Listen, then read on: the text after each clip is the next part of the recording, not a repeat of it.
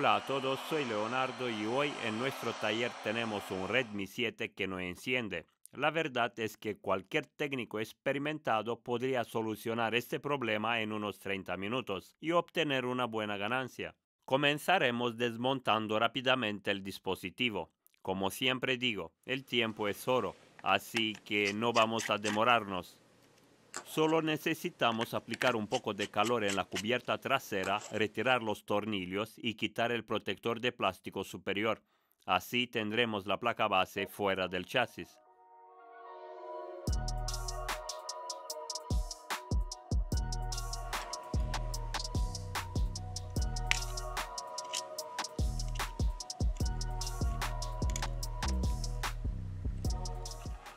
Empezamos con el diagnóstico. Lo primero que noto es algo de sulfato en el lateral y un blindaje suelto, lo que indica que el dispositivo ha sido manipulado anteriormente, pero no hay problema. Continuamos con el diagnóstico.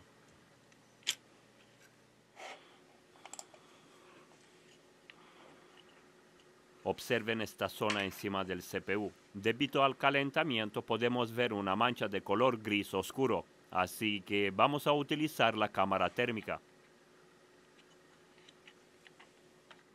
Conectamos la placa base a una fuente de alimentación de laboratorio y presionamos el botón de encendido. Podemos ver que el CPU se está calentando.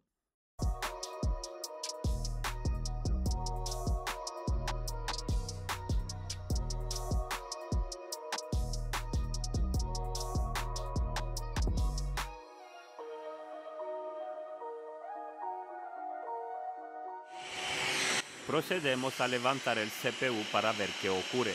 Primero aplicamos calor en la zona, luego colocamos un poco de flux en los laterales.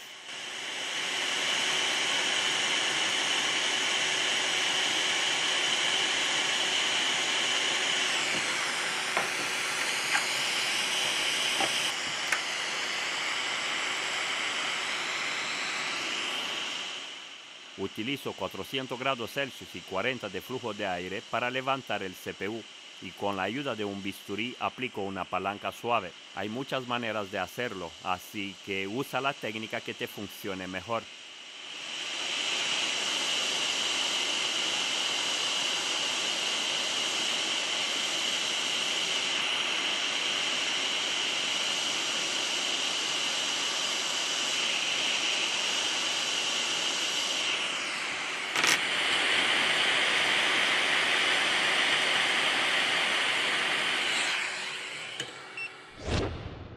Continuamos promocionando el producto destacado del mes. Este increíble producto ha alcanzado 43.000 ventas totales, con más de 11.000 ventas solo en los últimos 30 días. Se trata de un cable de carga rápida tipo C. A continuación os invitamos a comparar el precio en Amazon y veréis la sorprendente diferencia. No pierdas la oportunidad de equipar tu taller con uno de los mejores cables de carga rápida disponibles en el mercado. En la descripción del vídeo encontrarás el enlace para adquirirlo. Aquí en España la gente paga incluso 6 veces más por el mismo producto. ¿Tú qué esperas? Seguimos con nuestro vídeo. Inspeccionamos la placa base y todo parece estar bien. No hemos perdido ningún pad.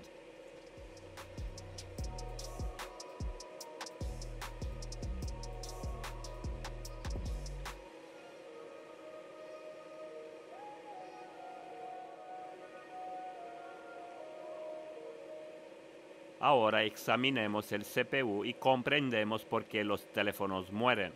Como pueden ver en esta esquina hay signos de calentamiento. Los pads no son tan brillantes como los otros. Esto provoca que el dispositivo deje de encenderse gradualmente y finalmente muera. ¿Será la obsolescencia programada?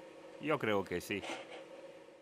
Aquí podemos ver claramente la diferencia en el color de las bolitas a ambos lados. Debido al calentamiento tendremos una soldadura fría, lo que significa que el CPU dejará de hacer contacto en algunas zonas con la placa base, resultando en un fallo repentino. Pasamos a revolear el CPU. En el primer paso aplicamos un poco de flux y estaño en pasta.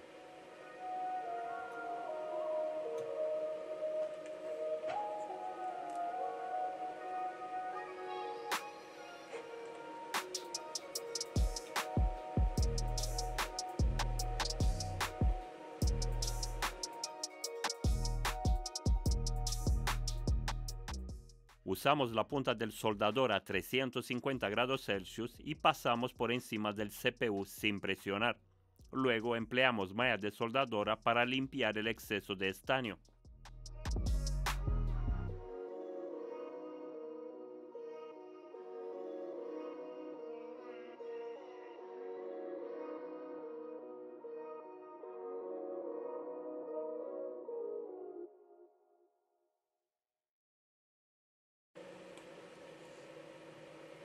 Hay que temer mover estos componentes. Se pueden reposicionar fácilmente aplicando 400 grados Celsius y un flujo de aire bajo, en mi caso del 15%.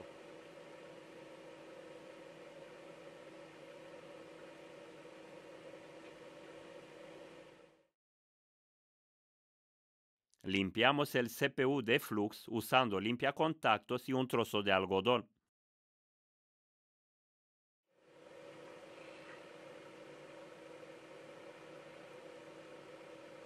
Prefiero retirar este componente, revolear el CPU y luego colocarlo de nuevo. El CPU debe quedar limpio para garantizar un rebaling de calidad. Pierdan el miedo y practiquen. Dominar esta habilidad les permitirá realizar reparaciones más avanzadas y cobrar tarifas más altas. Colocamos el stencil y aplicamos estaño en pasta. Aquí les dejo un truco. Siempre sequen el estaño utilizando papel de cocina.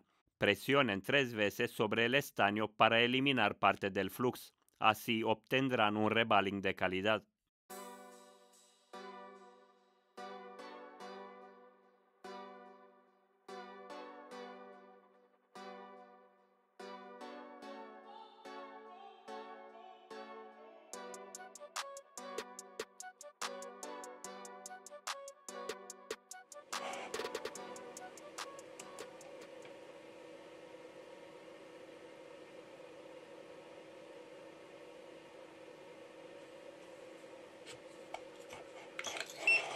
Para este proceso utilizo estaño en pasta normal. En concreto uso este bote. Dejaré el enlace de compra en la descripción del vídeo. Es un estaño de 183 grados Celsius para lograr una soldadura fuerte y brillante. Caliento el stencil con una estación de aire sin boquilla a 380 grados Celsius y un flujo de aire bajo del 25%. Esto me permite realizar un trabajo de calidad si te gusta este tipo de contenido, dale like al vídeo y apoya este canal.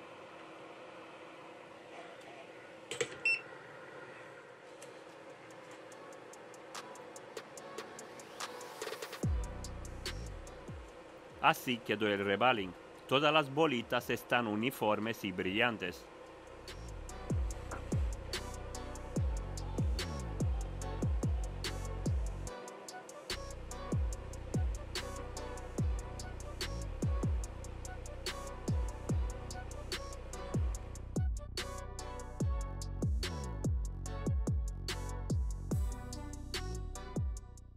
Ahora limpiamos la zona de la placa base donde colocaremos el CPU. Usamos el mismo proceso.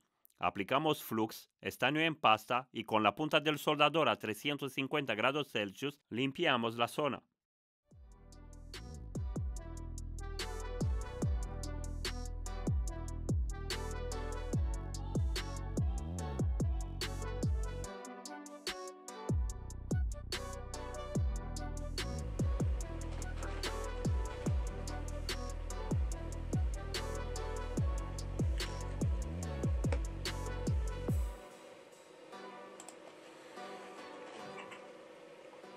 Después de la limpieza descubrimos que este pad está roto.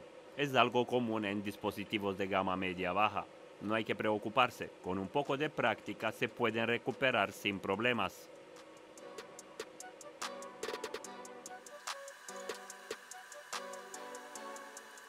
Primero raspamos la pista, luego aplicamos flux y estaño en pasta y estañamos.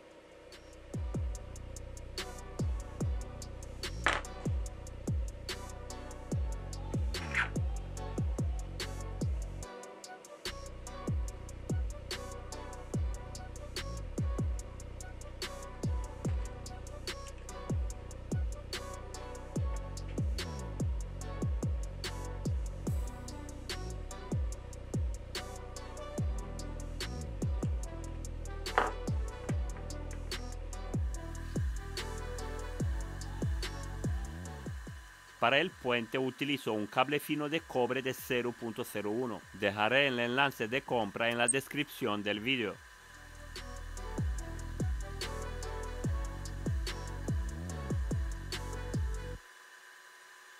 Para fijar el puente primero lo soldamos y luego aplicamos máscara ultravioleta para curarlo. Así se mantendrá firme.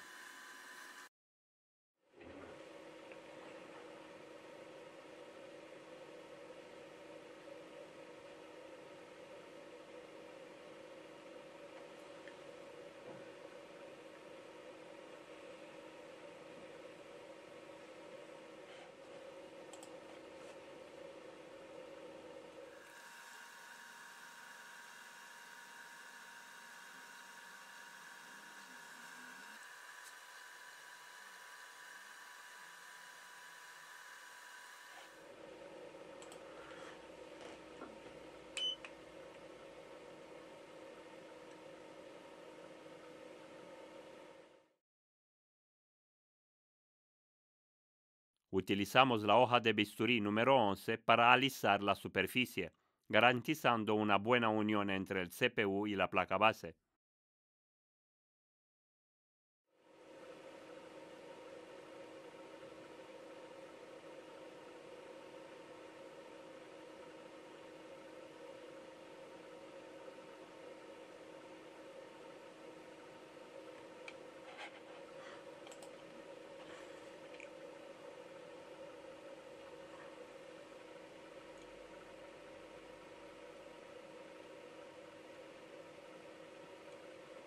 Aplicamos un poco de flux en toda la zona donde colocaremos el CPU.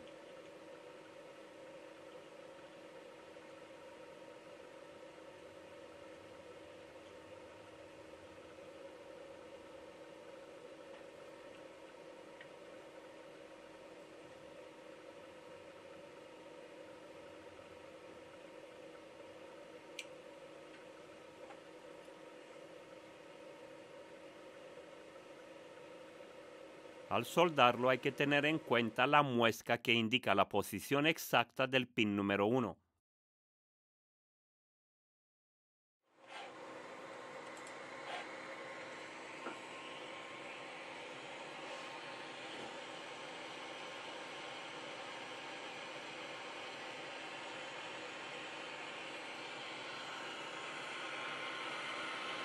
Para soldarlo correctamente utilizo una estación de aire a 380 grados Celsius y un flujo de aire del 30%.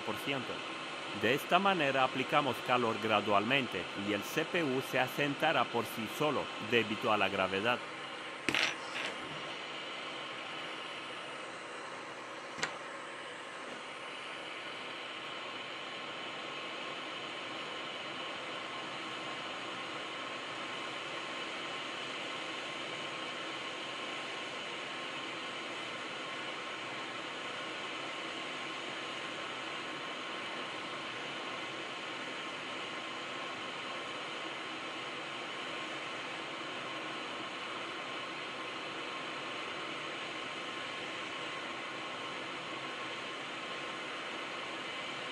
Con pequeños toques podemos saber si el CPU está bien soldado.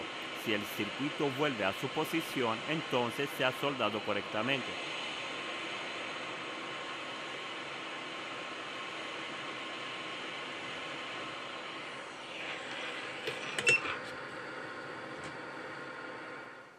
Conectamos la placa base a una fuente de laboratorio y comprobamos el consumo.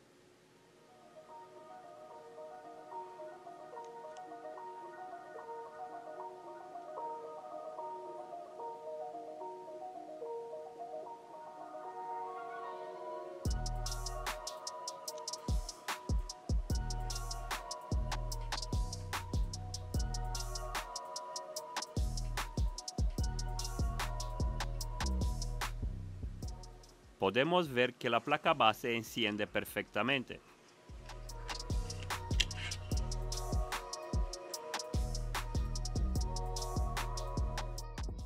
Avanzamos rápidamente y verificamos si el dispositivo intenta entrar en el modo ahorro de energía.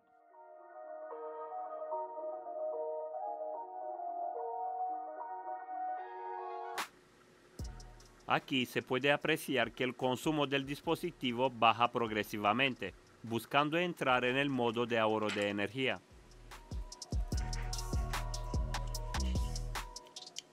Conectamos una pantalla y encendemos la placa.